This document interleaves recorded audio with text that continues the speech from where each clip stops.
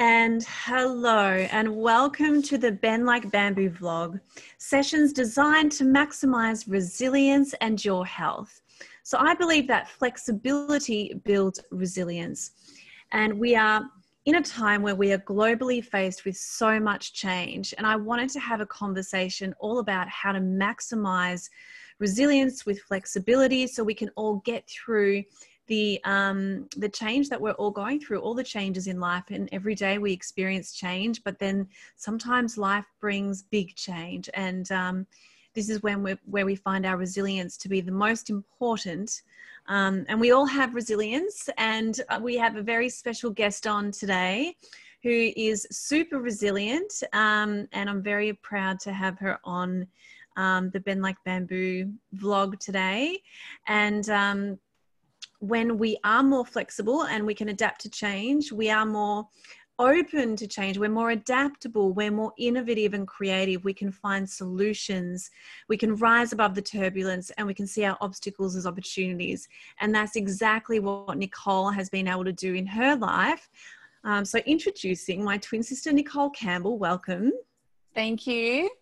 And Nicole is a very talented tattoo artist. She specializes in eyebrows. And yes, I've had my eyebrows done. And of course, Nicole has beautiful eyebrows. And so, Nicole um, has always been in the beauty industry. And then she was also a makeup artist. And then um, now she's a tattoo artist. And she specializes in um, cosmetic tattooing. And she's got a business called um, Mien Brows. You almost said been like bamboo, didn't you? I did. I reckon I did. Yeah. That's so weird that it's just like a regurgitation. Um, see, hey, you always know what I'm thinking. I didn't even know I was thinking that until you knew. You were, it was yeah. and it was so funny because we did another version of this earlier today, but it didn't work because my old computer wasn't working. So take two. Take and two. Everything you said about your childhood was exactly word for word how I was writing it in my book today in that chapter. It was so weird. I've got to show you that later.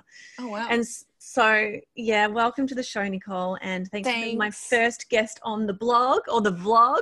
The vlog.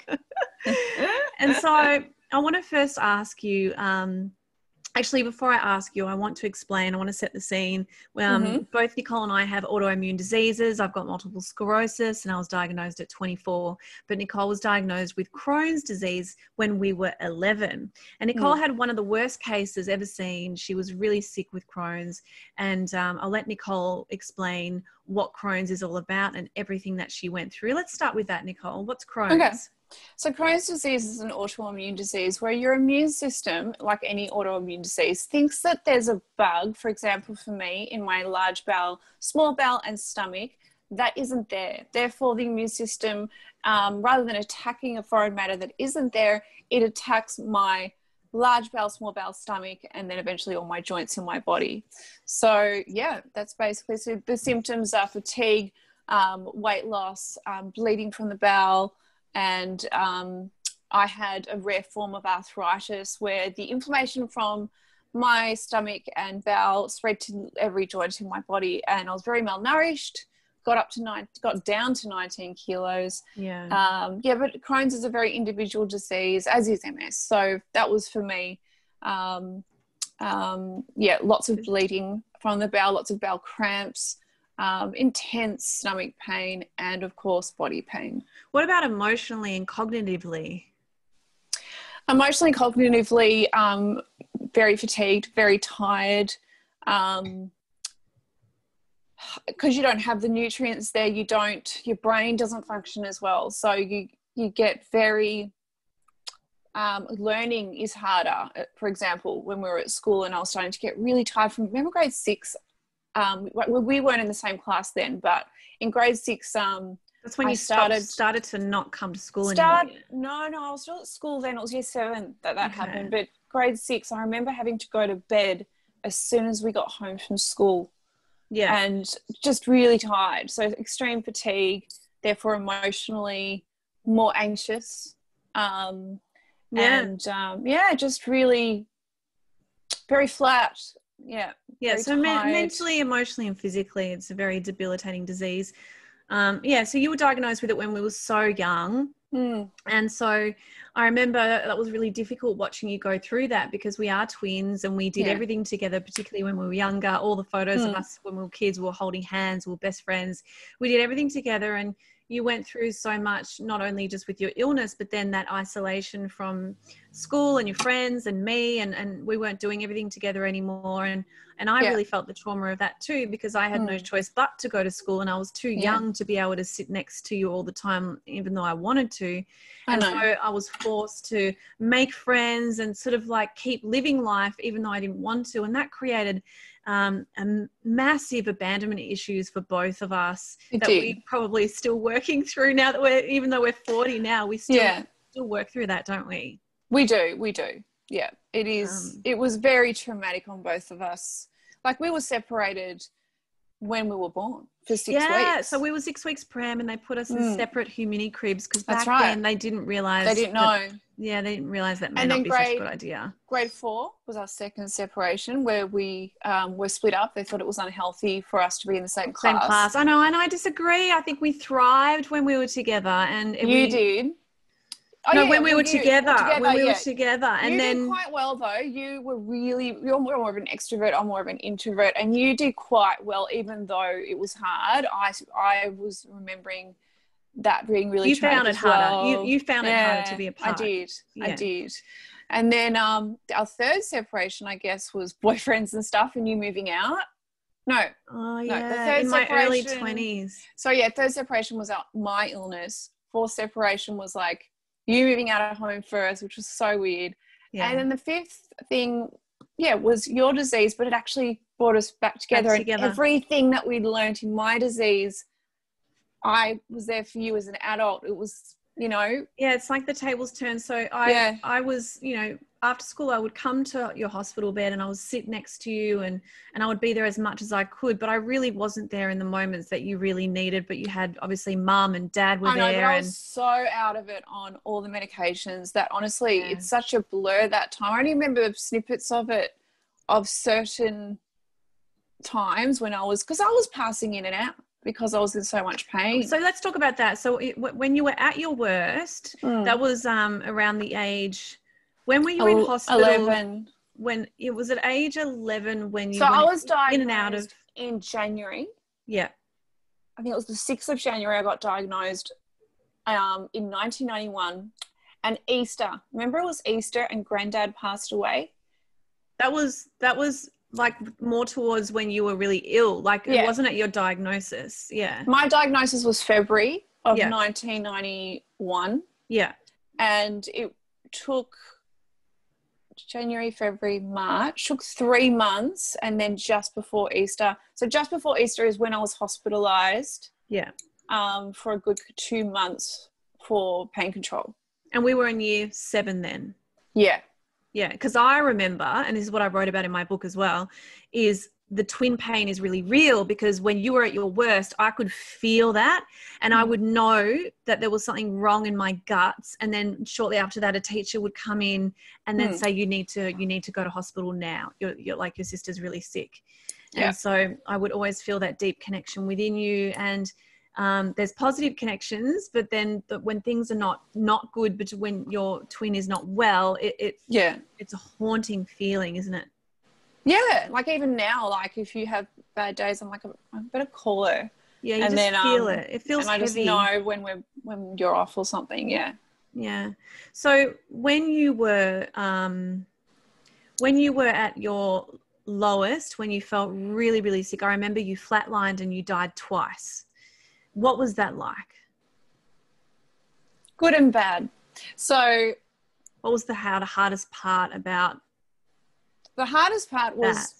I knew I was putting my family through hell. I knew that it was very hard, especially for mum, because she was, you know, next to my bed 24 7 or most of the time, 99.9% of the time, and she was absolutely exhausted. And that particular night, when you're in pain for a long period of time, you actually get a bit delusional. Yeah. So I was starting to get delusional. I thought my left shoulder blade was lower than the right, and it was all about because you know I was tiny and my left shoulder, even to this day, this is the one that clicks the most. So anyway, it I was like, Mom, my, my shoulder's not right, and she was just really tired, and yeah, so that night um, I was in a lot of pain and it had gone on for months. So I went a bit cuckoo that night again. Um, so it was exhaustion that it was, was made it really hard. yeah, it was exhaustion and mental and physically. I just had nothing left in the tank. I, I had, I was 19 kilos. I had no muscle on me. I couldn't walk. And it had been going on Um, for such a long period of time, every day in pain, Yeah. right? Every, Yeah, every- there was no 24/7. break. No, No break. No, there was one time that mum got like a million face washes and got them all really hot and put them all over my body. And I think I got 30 seconds of relief and it was like, and then that was it. So, yeah. And so, what? How do you deal with every day? Because I'm the point of um, talking about these conversations is to talk about, you know, that we all have those days. Some of them are worse than others, but where we really feel like we cannot put another foot in one of the in front of the other, where we just don't feel like we can go on. Because my next question is, what does resilience mean to you? What does what does it mean to be resilient? Well, I'll answer that in two ways. I remember mum back in when it was really bad, she would say, Nicole, sometimes it's a day at a time. Right now, it can be a minute at a time or a second at a time. Just take it a second at a time. And she was right. Um, as a child, I think you do what you have to do, you bounce back quicker as an adult, answering that question would be a bit different, but I certainly gained the core resilience that I needed as a child being really ill, where you just are forced to keep going. You, there's no option of giving up. There's no option of this is it. Um, you know, I always thought this, this, there's got to be more. There's this, this will pass this is not my life. This this there has to be better. And so the inner fight was there. I remember it always being there. But what did it feel Um, like when you flatlined and then you kind of released and and and got to that point? i think um How did you would have you, you would have thought that it would have completely frightened me and and and it would have been a horrific experience. In fact the opposite. It was um a very spiritual experience um there's no human word to describe it but it was um peace i wasn't in pain i was light as a feather um, i probably was out of my body i don't know um but Why, why do you think it got to a point where you just surrendered? Um, was it a conscious thing?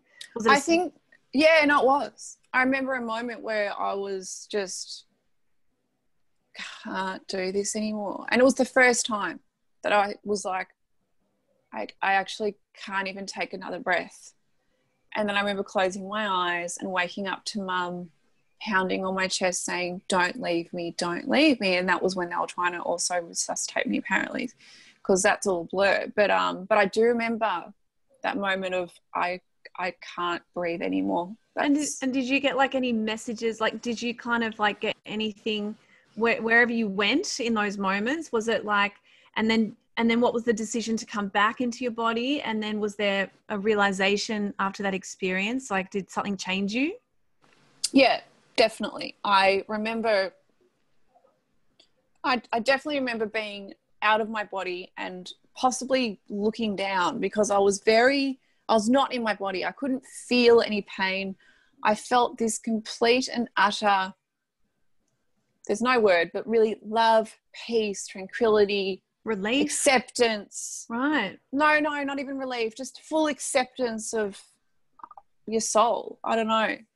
And then I look, I probably would have passed over if mum hadn't have really said, I need you to be here. Maybe that that- why. I don't know. But I remember this you felt, mum, I felt like I had to come back yeah, yeah. and and keep fighting. So mum really did bang me back, literally, and um, and then um, yeah, of course, that got everyone really worried. But for me, I think it got me to another state of okay, death isn't scary, so it's okay. So it And created more strength within you. Yeah, it did. It really did. It gave me more substance and understanding of the world a little bit at that young age and more understanding it later Why as well. Why do you but think you went? What did you learn from all the suffering and pain from having an illness so young? What what, what do you think if you were um, if that experience was placed in your life for you to learn something and to elevate and grow? What would that be? that the tiniest little moments matter the most. That mindset is everything. You can get through absolutely anything with this. Even pain and illness and Yeah. it's like how is it's it amazing what the mind because you take yourself to another world to cope it's amazing what the mind does to get you through Yeah. um eventually as i got stronger obviously nutrition exercise and all that contributes massively but at that time where it was extreme your Yeah. mind And so when you started to rebuild and you and you did get better and and and so you went and had some experimental treatment in London that dad found Mm-hmm. and you were treated with chemotherapy mixed with these antibiotics that were um, targeting tuberculosis even though you didn't have tuberculosis but they wanted to give you these drugs to um, yeah, yeah, it was it was clarithromycin and rifabutin, two hardcore hardcore antibiotics, um, um, mixed with a bit of chemotherapy. And um, yeah, it- the good thing about that was I was able to get off about 80 tablets a day that I was on current And- that that time that were killing and that was me. pretty Sloan what else that were, what were you on before that like 100 milligrams plus a day of prednisolone, cortisone. Um, oh my god, it's like I can't even remember all the names, but there was so But many. the drugs that puffed you up and gave you that moon face prednisolone. and you lost your hair and you were um and you had extra hair on your body I know.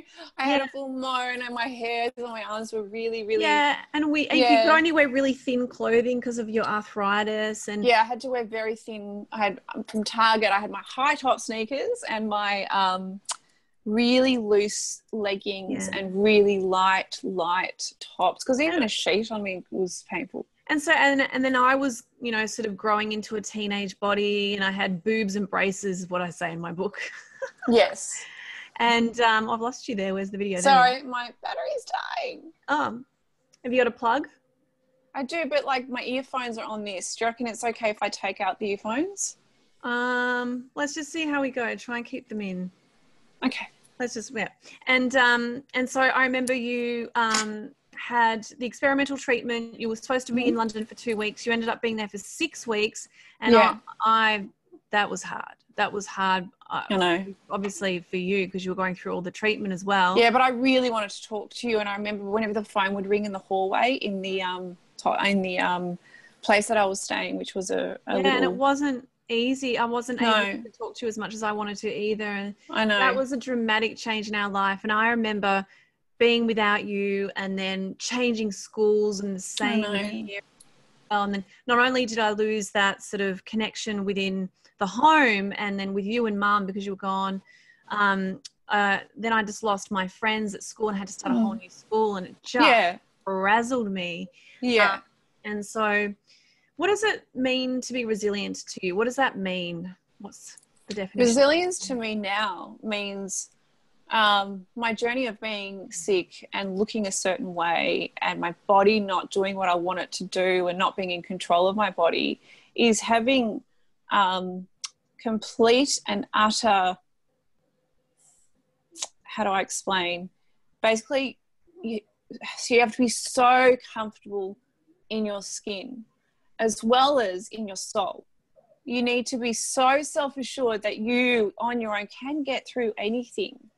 Um, and you prove that to yourself through adversities in your life and the outcomes and and persevere and show up and keep going every day. Um, you've just got to keep going. And then if you put yourself in the right positions and places, the right people come. But resilience is all about self utter love for you.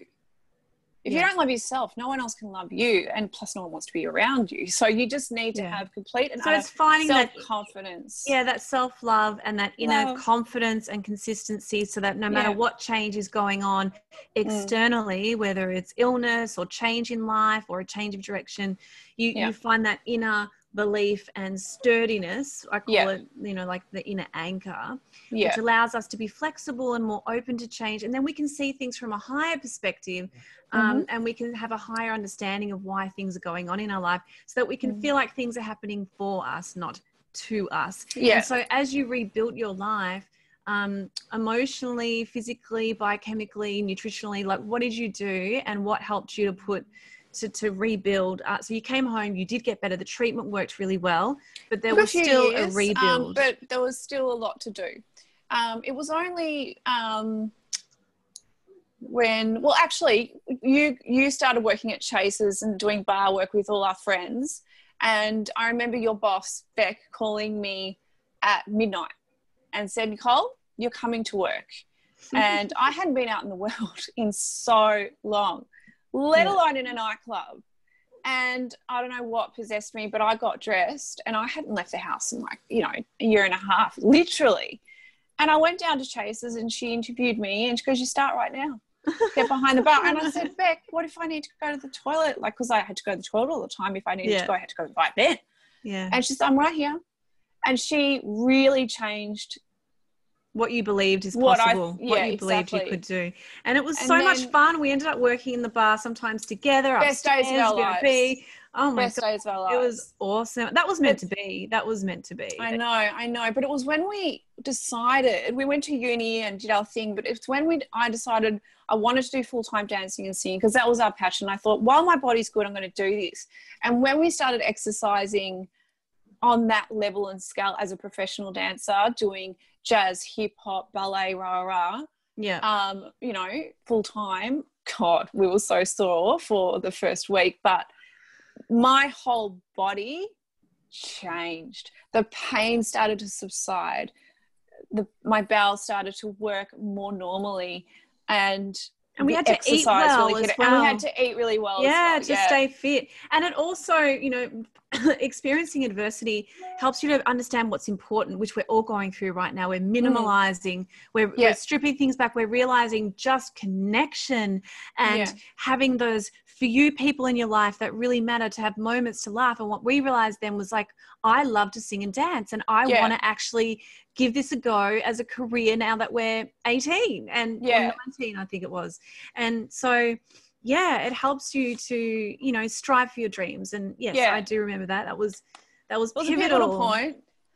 Pivotal. Yeah, it was a it was a pivotal point. Um, and it forced us to really do what we wanted to do and then and Yeah. then you launched yourself into um, the beauty industry and i think you learned you went through a lot when we looked different and you were on medication and i started growing and you know i, I hated that too i hated not looking the same anymore because we're so used to looking exactly the same we're identical twins and so how did um, the gift of um, learning because you became obsessed about how to Mm. it wasn't just about beauty it was no more an inside out connection of beauty and, and changing the external and how that makes you feel on the inside, right?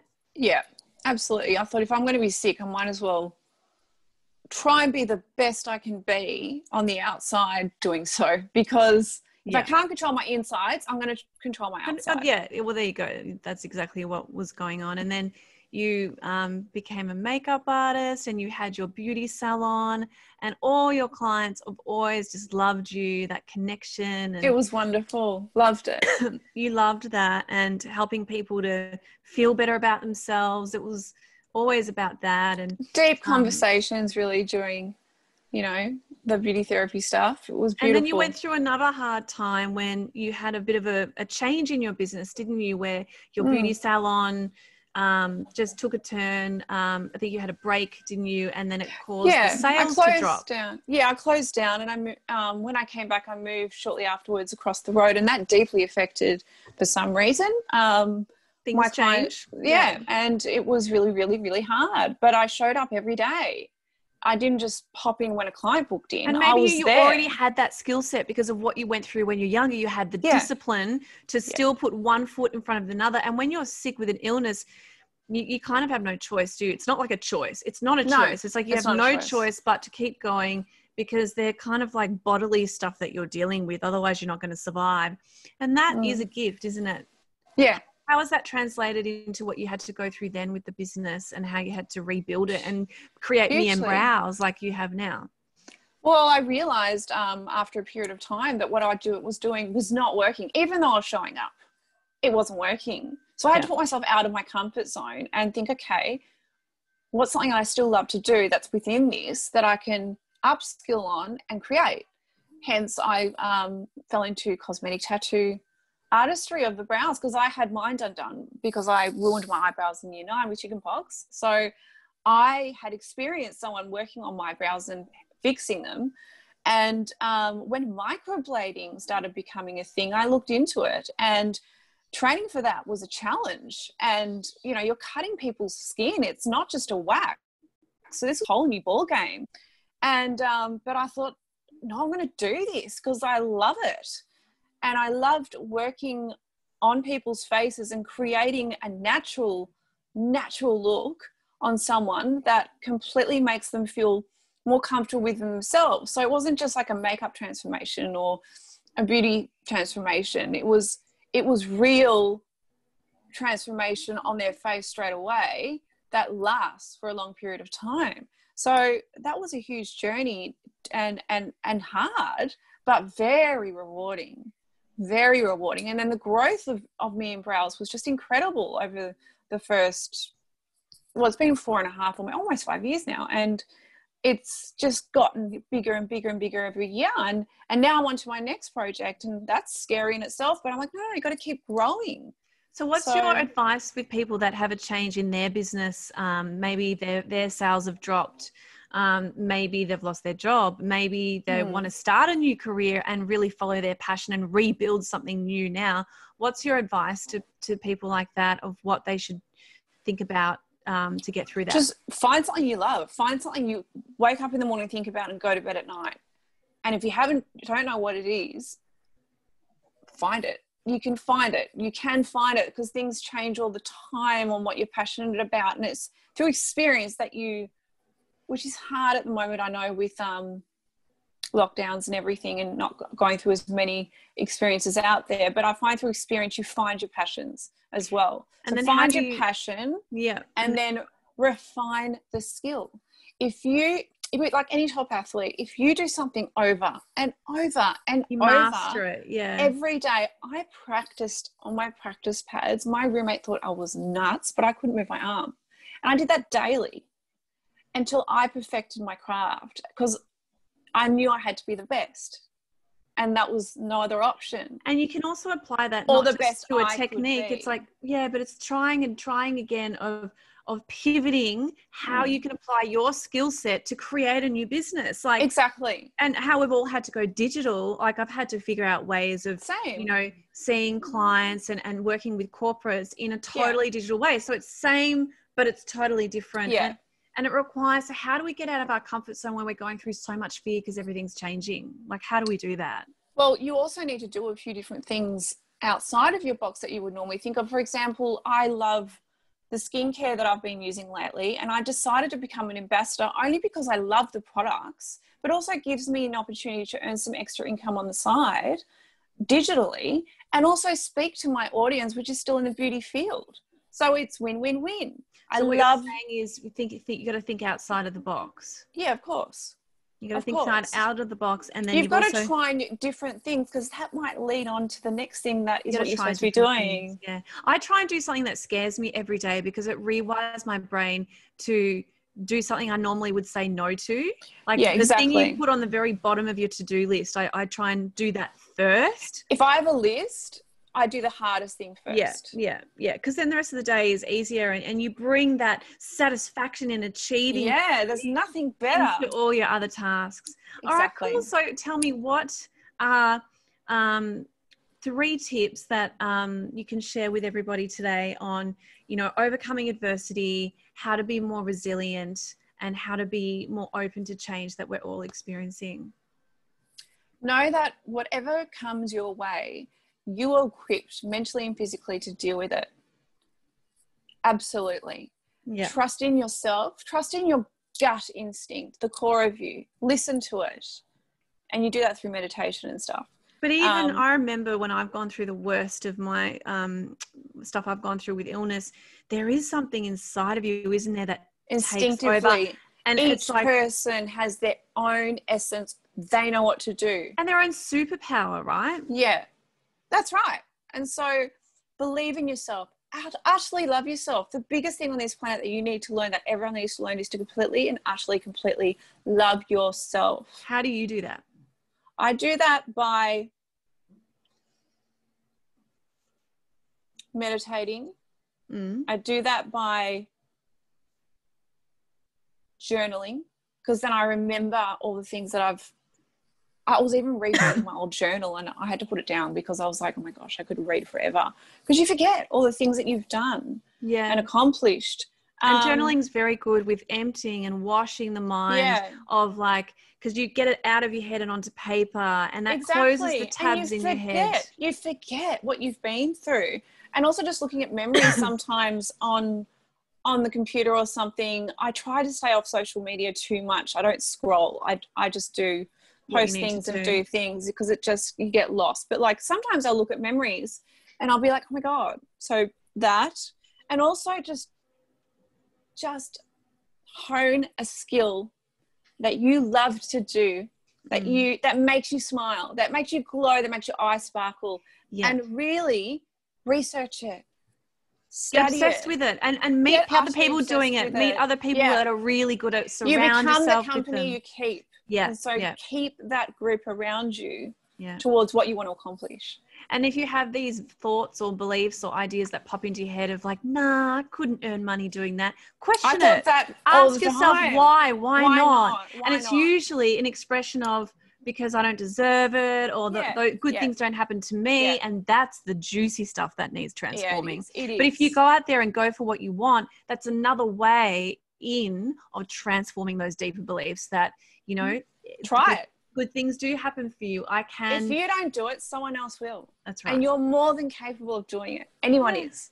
You just have to believe it. So, everyone out there who's going through something right now, just really believe that or understand um, that you know everything you're going through is getting you ready to become the next version of yourself that you're ready to be. That's going to give you all the things that you're asking for. So Mhm. it's happening for you, not to you. And we have to get through the grit, don't we? We have to get through the Mm. sludge to, and the person we become on the other side of that is the point, yeah isn't it? and there are hard days sit in them But there's They really pass. rewarding days too. But when you get over, when you pass the hard days, yeah, the juicy bits come. because of the power of polarity, right? yeah, so exactly. You don't know, the light joy. from dark, dark Yeah. light, joy and dark. Yeah, so there and you can absolutely get through anything you're going through. And my tips are, you know, just to add to that is, you know, Mm. try and be in the present moment as much as you can, which is probably why journaling and meditation works really Yeah. well. Spend alone time, just take, particularly during Yeah. this time while we're still waiting to get out of lockdown, try and utilize the time, you know, switch it around in your head, give it a new meaning of, thank God I have the opportunity to slow and rest, maybe read some books I haven't yeah. read Flip yet. it. Exactly. Flip, Flip it. the story because it's so easy to go, oh my God, I'm trapped I know. and I don't get to see my friends or do these things. But what if there's a higher reason for all of this and just take advantage of that? And Then and you take back the control. yeah, yeah. And it's all perception, isn't it? It's subjective. That's really cool. Thank you so much, Nicole. Now, um, Thank you. you um, not only do you tattoo eyebrows, but you've also got an, an academy starting. For, Yeah, I've been working on it for a couple, well, a year and a half now, and we'll be launching. I want to teach. I want to teach what I love. So that's what Yeah. I'm going to do. So that's So your new that's the thing, isn't it? academy. Yeah. And how can people find you? Um, well, um, www.mienbrows.com. That's the website, but all our social Brows. media. So Yeah, am W- I- Sorry, www.mien, mienbrows.com. Amanda will put a link below, I'm sure. Yeah. And um, everyone can never pronounce Mien Brows. And um, yeah, all Yeah. the social media links. Um, oh, they'll be on your website. Facebook. Yeah. Exactly. They show all the updates on what's coming up on the academy. But yeah, Mien Brows. Yeah, great. All right. Well, Thanks, thank Amanda. you so much for, um, you know, being my first guest on my vlog. Thanks for having me. That's all right. Well, I love you very much. Love you too. All right. See you guys. See you next week. Bye.